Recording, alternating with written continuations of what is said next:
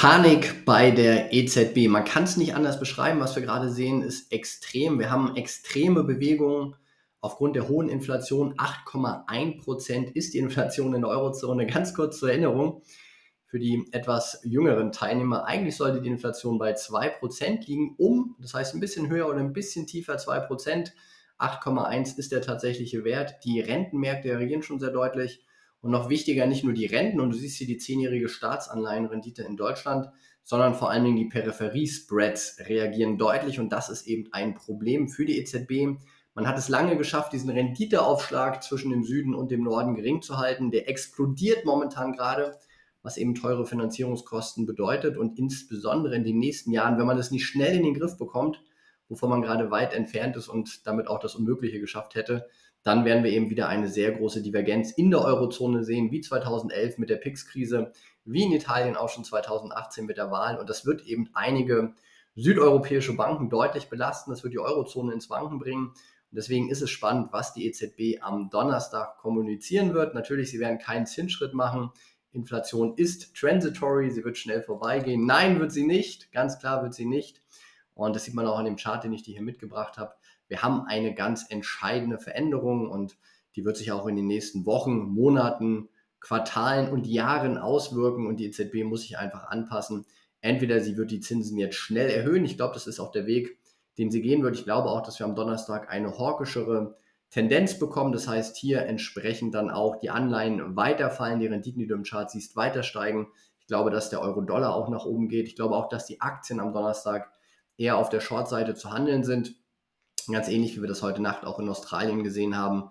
Die RBA, also die Zentralbank in Australien, hatte ja auch überraschend 25 Basispunkte mehr erhöht auf jetzt 85 Basispunkte, hat damit eben den Australdollar festgemacht, hat die Renditen sehr stark in die Bewegung gebracht, weil es nicht eingepreist war und eben auch den Aktienmarkt damit nach unten gebracht. Und ähnliches erwarte ich auch für die EZB. Warum? Weil eben hier der Inflationsdruck so groß ist und weil die Probleme nicht mehr von der Hand zu weisen sind und wenn man dieses sehr gefährliche Spiel weiterspielt, dann verliert man komplett das Vertrauen. Die Staaten müssten eigentlich jetzt einspringen mit Euro-Bonds oder irgendwie anders gearteten Finanzierungsmöglichkeiten, um eben hier die Peripheriespreads und worum es geht, zeige ich dir gleich, runterzubringen. Sie werden es nicht tun. Sie werden es nicht in dem Maße tun, wo man es erwartet hätte, weil natürlich gibt es eine politische Union in der Eurozone, natürlich auch mit dem Krieg, aber es gibt zu viele lokale Probleme, sei es eben durch den Klimawandel, sei es durch die Energiekrise, sei es eben auch durch die immer höhere Staatsverschuldung, die natürlich auch Deutschland trifft, wo man momentan eben doch eher an sich selber denkt als an die EU. Und ich bin ehrlich, ich sage, das ist richtig, weil wenn man in Krisenzeiten zusammensteht, ist es gut.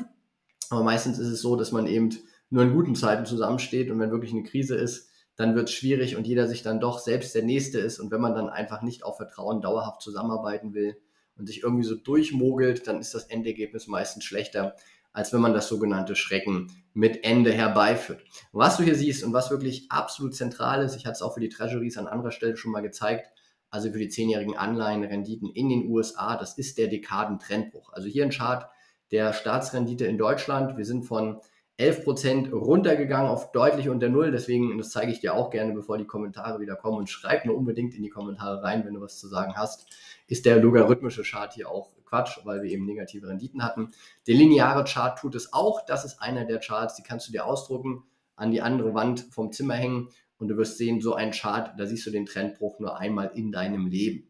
Und genau den haben wir jetzt gesehen. Wir hatten 40 Jahre getrieben durch immer geringere Inflation einen Renditerückgang. Also hier zu meiner Geburtszeit ungefähr Anfang der 80er Jahre, Jahrgang 83 bin ich. Ich weiß, man sieht es mir nicht an, aber ja, ich bin schon 39 Jahre jung. Da standen die Renditen noch bei 11 Prozent, dann hier Wiedervereinigung, Renditen bei 9 Prozent, dann neuer Marktcrash, Renditen von 5, 6 Prozent. Übrigens auch ein gutes Investment. Zehn Jahre nach dem neuen Markthof 5 Prozent jedes Jahr in Anleihen. Sicherlich kein schlechter Deal, während der DAX ja nur vor sich hingedümpelt ist. Dann gab es hier nochmal diesen Corona, nein, es war nicht Corona, man hat die ganzen Krisen schon gar nicht mehr im Griff. Das war Lehman Brothers. Hier sind die Lehman Brothers Renditen nochmal nach oben gegangen, auch eben aufgrund der hohen Inflation, die wir noch hatten. Da gab es eben einen Zwischenhoch, dann gab es eine Trendbeschleunigung, die siehst du hier in schwarz. Ich weiß nicht, ob ich die Trendlinie schwarz gezeichnet habe, ist nicht ganz so schön, kann man auch ein bisschen enger zeichnen. Aber da auf diesen Bruch bin ich ja auch schon eingegangen. Damals sind ja auch die Treasuries von 1% deutlich angestiegen. Und jetzt haben wir eben den zweiten deutlichen Bruch gesehen, auch bei einer psychologisch sehr wichtigen Marke, bei der 1%-Marke. Und natürlich wird das von der EZB sehr genau wahrgenommen. Natürlich bedeutet 1% Refinanzierung für die Staaten langfristig noch nicht den Weltuntergang, aber es bedeutet eben schon teurere Finanzierungskosten, 1,3% ganz konkret. Und du merkst es auch, wenn du in Deutschland einen Immobilienkredit haben willst, weil du Häuslerbauer bist, kannst du dich eben nicht mehr für 0,9, 0,8, 0,7 finanzieren, auch nicht mehr für 1,5 oder 2, sondern die Banken packen jetzt auch ganz schön Risikoaufschläge drauf, weil sie eben auch ihre eigenen Kreditrisiken sehr stark absichern müssen. Man hat sehr viele Non-Performing Loans, gerade in Südeuropa, in den Büchern. Was sind das für Loans? Also für Kredite. Man hat eben viele Anleihen, die eben Schuldner haben, die nicht besonders gut und solvent dastehen, wo man eigentlich hofft, dass die Ratenzahlung kommt, aber eigentlich weiß, dass eben der ganze Kredit niemals getilgt wird, ähnlich wie bei den Staaten auch. Ein Staat wird immer die Raten irgendwie noch zahlen, weil er das Vertrauen genießt, hoffentlich. Und äh, den ganzen Kreditbetrag, das ganze Staatsschuldendefizit, das wird er niemals abtragen können sondern geht es eigentlich nur um die Frage der Refinanzierung. Und es wird für Banken genau für wir Staaten schwieriger, deswegen braucht man mehr Sicherheiten, deswegen geht der Preis für Geld, der Zins gerade nach oben und das merkt man eben in diesen Dekaden Trendbrüchen. Also hier siehst du diesen Bruch. Wie gesagt, darauf möchte ich dich einfach hinweisen. Das sind massive Bewegungen und bringt mich auch strategisch dahin zu sagen, wir werden weitere Anstiege in den Renditen sehen, zwei, drei Prozent. Ich gehe dauerhaft ja von der Inflation von drei oder vier Prozent aus in den nächsten Jahren. Da werden wir eben auch dann hier Zinssätze im Bereich 2, 3, 4 Prozent bekommen.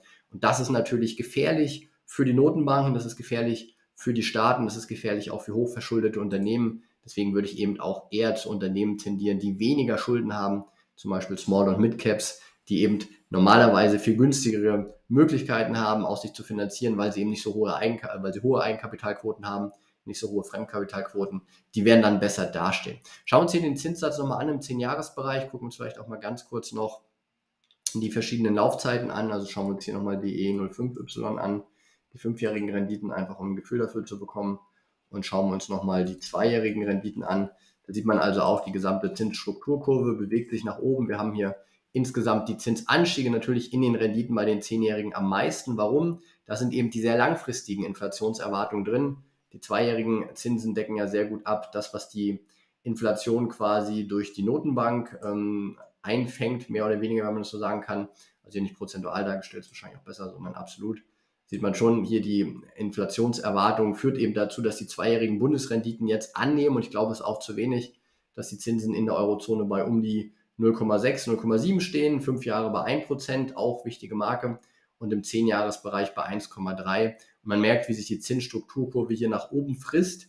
Wie gesagt, das führt ja momentan auch zu einer gewissen Verflachung noch. Ich glaube aber insbesondere, wenn die Zehnjährigen weiter beschleunigen, dann wird es ein großes Problem sein, all dieweil das natürlich dazu führt, dass hier eben im 10-Jahres-Bereich einfach die Inflationserwartung nicht für die kommenden ein, zwei Jahre gezeigt wird, sondern auch für die darüber hinaus. Die langfristigen Zinsen sind noch einigermaßen gekappt. Warum? Weil man annimmt, eine Rezession wird Inflation einfangen.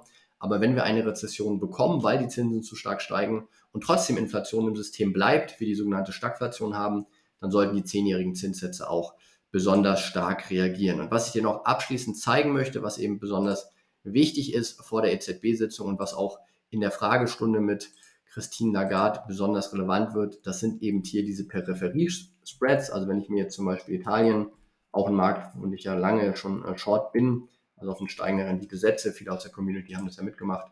Wenn ich mir den Markt hier angucke und diesen Spread mir mal anschaue, dann sehe ich eben hier, wow, das ist eine ganze Menge, das ist ein ganzer Schnaps. Hier siehst du also den Renditeaufschlag von den zehnjährigen Staatsanleihen in Italien im Verhältnis zu den zehnjährigen Anleihen in Deutschland. Man spricht hier eben vom Spread, also vom Renditeniveau. Du siehst hier zur ähm, Einführung des Euros gab es eben diesen Ausreißer noch, dann musste man sich ja einigermaßen committen vor der Lehman Brothers Krise heile Welt, dieser Renditeaufschlag von Italien, warum auch immer, nur 0,3, 0,4. Natürlich völliger Quatsch. Die Italiener sind viel mehr verschuldet, haben viel größere Probleme, viel weniger Wirtschaftskraft und und und. Dann gab es eben diese Peripheriekrise. Damals war der Renditeaufschlag 5%. 5% waren also die Bonds hier mehr rentiert als die Bundesanleihen. Dann gab es hier die Wahlen 2018. Das war übrigens der Corona-Crash, also damals durch Risikoaufschläge geprägt.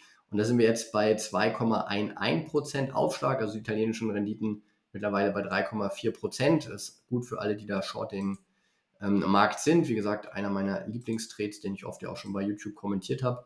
Und was ich dir auch hier zeigen will, das gleiche Bild, wie gesagt, ein bisschen unsauber zu zeichnen, aber von der Grundidee klar, das gleiche Bild wie im Rentenmarkt auf die letzten 40 Jahre, siehst du eben auch in diesem Spread, also in dem Renditeaufschlag, in der Frage, wie viel mehr muss Italien bezahlen im Verhältnis zu Deutschland. Da siehst du, dieser 10-Jahres-Spread geht deutlich nach oben. Auch hier hast du diesen Dekadenbruch. Ich glaube, das nächste Niveau wird eben das sein, was wir zur, äh, zur Corona-Krise gesehen haben. Danach werden wir auf das Italien-Niveau gehen, dass wir bei 3% sind. Und danach ist eben Polen offen, wie es so schön heißt. Danach mache ich mir wirklich Sorgen, weil dann reden wir auch über die Stabilität der Eurozone. Denn wenn die Südländer 3% mehr zahlen müssen für Kreditneuaufnahme, und ja, sie haben eine Duration von drei, vier Jahren in ihren Büchern, sie können also eine Zeit lang einen höheren Zins aushalten, aber nicht dauerhaft. Und das ist das Problem, wenn wir hier ein, zwei Jahre durch die höhere Inflation in der Eurozone solche Renditeaufschläge sehen und die nicht aufhören. Und da kann die EZB gerade sehr, sehr wenig machen. Sie hat zwar so eine nebulöse Kommunikation, dass es da irgendwelche Measures gibt, aber wenn die Staaten dann nicht quer subventionieren durch Eurobonds, was politisch gerade sehr, sehr heikel sein kann, und die Spreads weiter rauslaufen, dann können wir hier eine ähnliche Beschleunigung sehen. Und schau, das gleiche haben wir eben auch in der Peripheriekrise gehabt. Wir hatten diese Panik 2009, vielleicht zu vergleichen mit der Corona-Krise jetzt. Dann hatten wir wieder einen Rücksetzer gehabt, ähnliche Situation. Dann sind wir rausgelaufen, ein bisschen Entspannung kam, aber dann kam hier dieser komplette Vertrauensverlust. Eben in der PIX-Krise 2010 und 11, damals fast die Eurozone pleite sozusagen, fast der Euro-Breakup, große Probleme, Griechenland de facto pleite. Zypern hatten wir als Beispiel und die Spreads waren eben hoch, die Renditen in Italien über 10% Und das ist das, was ich auch befürchte. Also alles, was hier nach oben oder seitwärts geht, was nicht schnell wieder reingedrückt werden kann, ist für mich ein Warnsignal. Deswegen schaue ich mir sowas täglich an. Und das ist eben auch eins der Zeichen, die ich sehe am Rentenmarkt. Nicht nur Credit Spreads, sondern auch hier Peripherie Spreads, wo ich sagen muss, jo, das ist gefährlich, die EZB wird es nicht einfangen können. Und umso weiter wir beschleunigen, umso gefährlicher wird es. Und wie gesagt, ich kann mich gut noch an die Peripheriekrise erinnern, damals 2009, 10, 11, wo es dann ihren Höhepunkt hatte. Das waren keine schöne Zeiten, wenn du keine Anleihen mehr verkaufen kannst, wo ja auch viele Milliarden in den Büchern der Fonds sind, die ja eh schon gelitten haben, gerade Mischfonds, weil sie stark in Renten investiert waren, weil sie auch stark in Italien mit dabei sind. Und da können eben viele Pensionskassen, die da investieren, viele Banken, viele Versicherungen, viele Unternehmen, aber auch Privatanleger, die in solchen Fonds sind, deutlich Wertverluste erleiden. Deswegen schau dir diese Dinge an und umso weiter der Renditeaufschlag hier steigt, umso schwieriger wird. Wenn dir das Video gefällt, wie immer Daumen nach oben. Wenn du mehr zu Anleihen erfahren willst, ja, ist nicht auf jedem Kanal und ja, es ist auch eine besondere Betrachtung, aber ich finde es wichtig, deswegen teile ich das. Und wenn du sagst, du findest es auch wichtig und das tust du, wenn du das Video bis zum Ende guckst, weißt du, bitte teilen, bitte den Daumen nach oben und dann mache ich gerne auch mehr Videos für dich, um dich auf solche Dekadentrendbrüche hinzuweisen.